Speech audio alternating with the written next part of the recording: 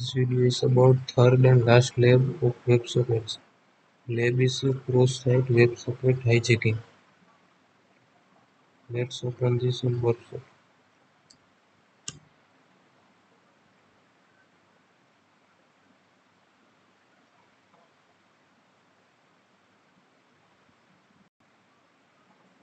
So here we have live chat.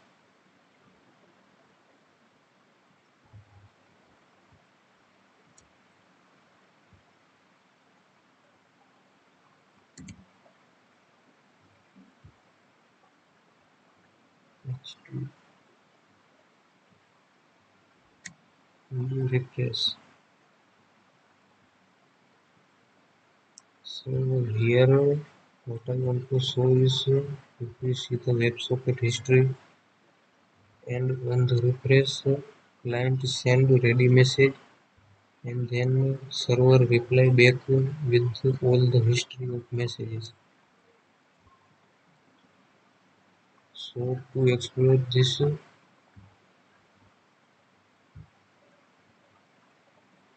we can write malicious JavaScript that will be executed on victim so we can get all the history of messages. For that uh, let's write the JavaScript.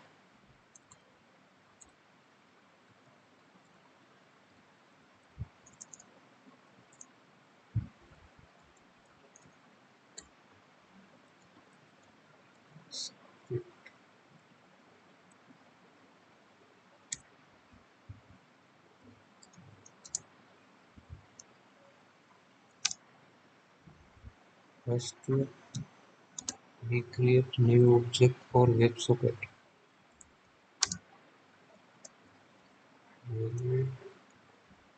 Socket and the URL of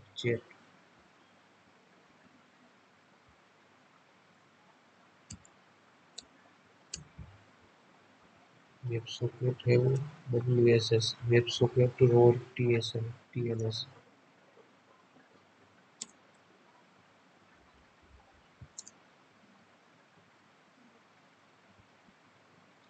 Then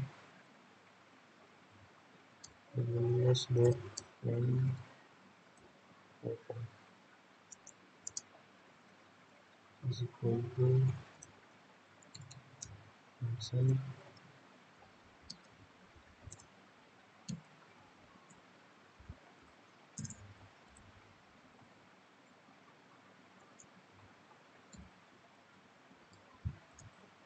to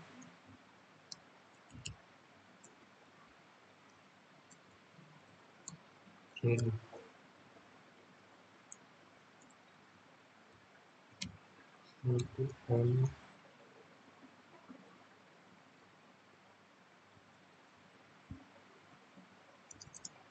is to event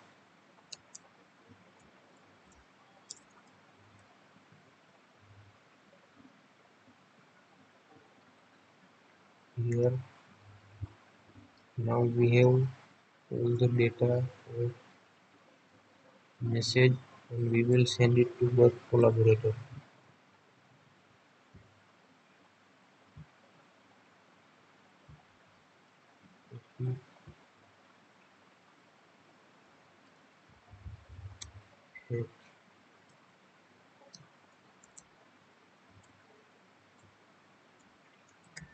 Https dot collaborator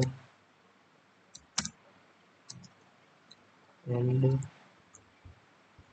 method is post here we have to use node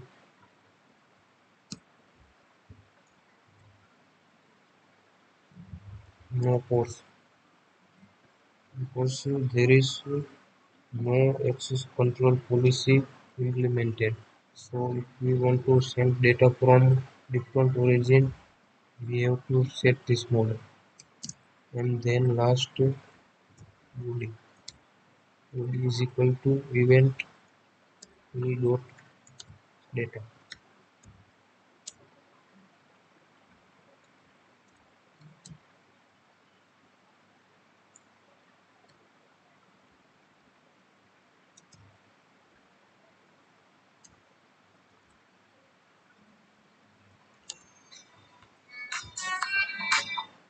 This is just to verify are console.log to see if it is work. Store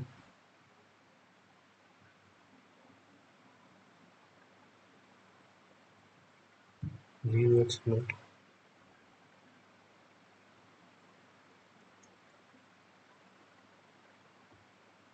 console here is all the data if we go into work collaborator and now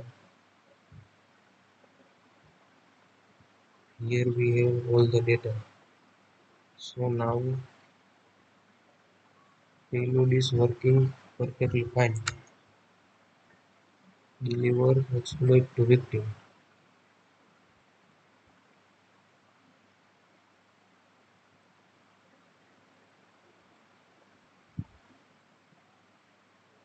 And again collaborator so this new entry is a victim. We see the chest messages hello. From I forgot password. No problem Carlos. It's uh, and this is password. So we know the username Carlos and password is this let's see if we can log in Carlos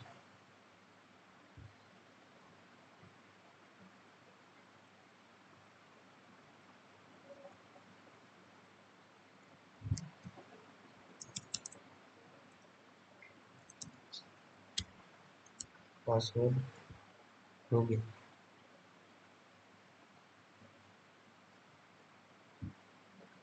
and we successfully log in to the Carlos by exploiting the cross-site WebSocket vulnerability. First we get the chat from the victim. There was username and password in the chat history. Using that we log in. Here is the username and password. So that was it for this lab. Thank you.